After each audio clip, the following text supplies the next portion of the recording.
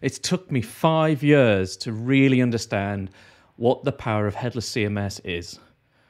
Like everybody else, I thought it was just about taking off the head, taking off the presentation layer, and creating an API on top of a content management system. That's what I thought.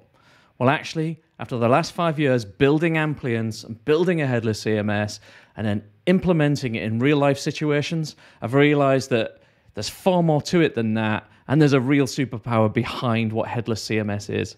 So if you want to work out how awesome a headless CMS can be, this is what this video is about.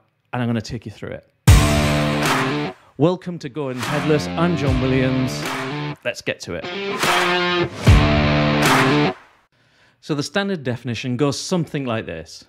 At the bottom of the CMS, you have your admin system where business users will enter content into the system.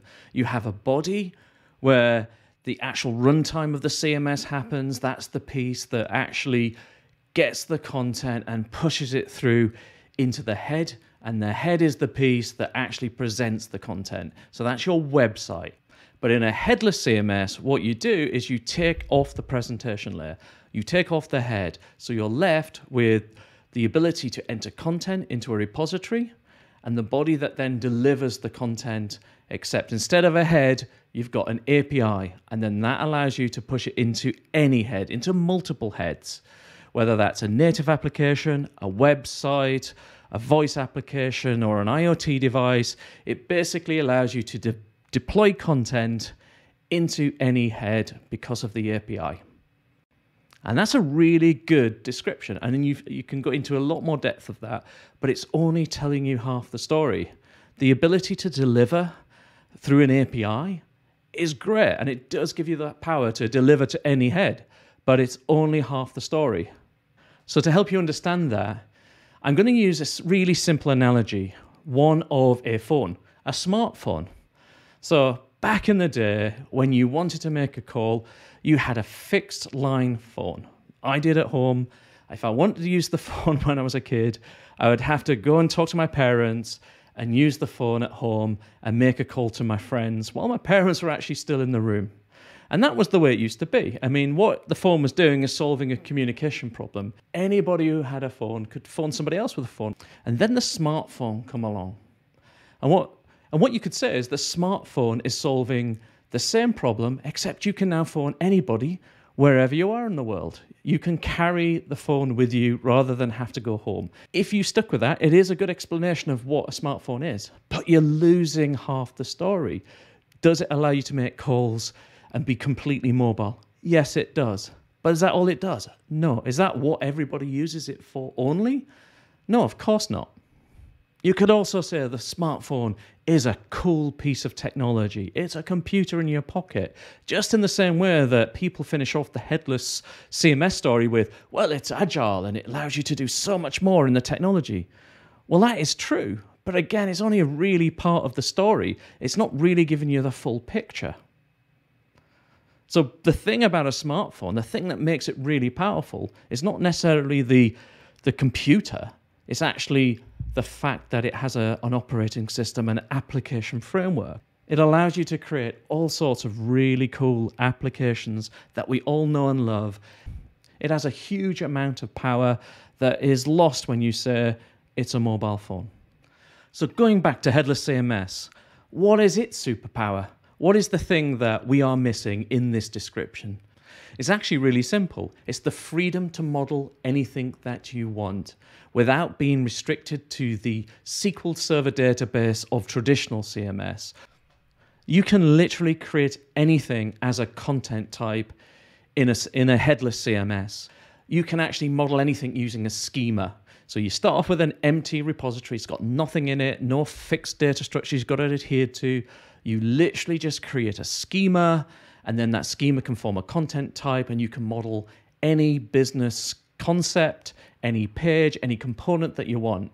And that's tremendously powerful when you can take that and then deliver it through the headless CMS API.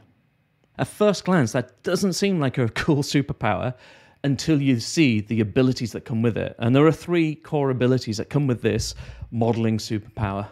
The first one is you can actually model your business with content types, with the content repository. You're not restricted to, I need to model my business as in topics and pages and content. I can actually model the concepts themselves first. For instance, if I was a fitness business, I could try and take everything I have and push it into pages and then trying to make that transactional. So then I'd have to have a hierarchy of a catalog. Or what I could do is model things like a fitness regime, the workouts, the diets, the supplementation, and the equipment, and make the associations across all of those concepts that make sense. And then layer a user experience on top of that that you can then start to transact on, which is a very different way of just creating static or slightly dynamic pages of content that you have to chain together with links especially when these types of business concepts are complex, interconnected relationships. And that brings me to the second ability. The modularity of the content types means that not only can you model business concepts and complex pieces of content, you can also create user experience components. So you can create components like navigation, you can create components that map straight into a React app or a Vue app or even model entire application and its configuration and its routes. Not only are you modeling these user experience components, you're giving the power to the business users to actually manage the user experience without coding it into the application itself. And the third ability is the fact that everything that you produce is machine readable. Now, just think about that. Everything is machine readable. So you can create these content objects that can be assembled. You can then deliver these content objects through an API, and they're still machine readable. They're not HTML. And what that allows you to do is really cool things like personalization. Imagine with personalization, you now can tick these blocks and be read in by the personalization engine that can then make decisions on that, which means now you can dynamically assemble these blocks based on the data from the personalization engine. So you can now customize the content and the entire user experience for a specific customer. This is also true when it comes to things like search engines. The fact that it's machine readable, you can push and inject into a search index. Or any integration into any backend system, content can be pushed into their APIs and assembled within those systems. I'm sure you'll agree by reducing headless CMS to just it's an API over a CMS is only half the story. The real power is in the modeling of the content and then pushing out through that API, because then you can actually generate the user experiences that you need in these heads and then manage them. Just putting an API over a CMS is not enough. You need to be able to model a business, model UX, and make it contextual in every presentation that's out there, whether it's an application, a website, or injecting into an e commerce system or pushing it out somewhere else. I hope that gives you a much better understanding of the awesome power that you have with a headless CMS. And you understand what I mean by a superpower when it comes to headless CMS. I'm sorry, but that's all we've got time for right now. But if you could show your appreciation and scroll down a little bit, press that like button, I'd really appreciate it myself. If you are interested in hearing more about headless, if you are interested in hearing more about MACH and MACH architectures, just subscribe to Going Headless at John or visit the channel and see some great material out there. But for now, I'd like to say thanks and goodbye.